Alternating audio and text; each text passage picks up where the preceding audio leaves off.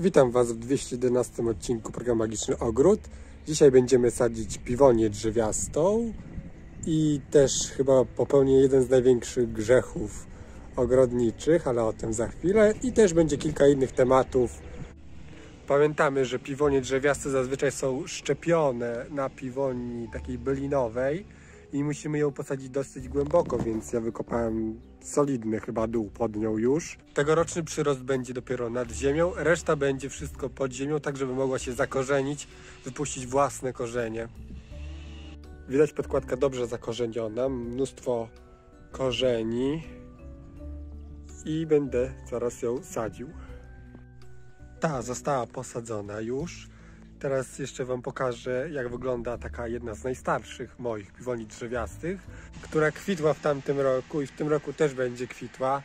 Aż szybki luk. Ma dosyć dużo wypuszczonych pączków. No i liczę, że wszystkie się rozwiną ładnie i będzie cała ładnie bardzo kwitła. I tym moim największym grzechem będzie właśnie chyba przesadzanie piwoni drzewiastej. Już w którymś odcinku Wam opowiadałem, że nie tolerują one y, przesadzania, i, no ale niestety muszę je stąd zabrać, bo to nie jest jednak miejsce dla niej. Nie chcę tutaj rosnąć, coś jej nie pasuje, żeby nie obrywać całej bryły ziemi od niej i ją móc przetransportować w drugie miejsce.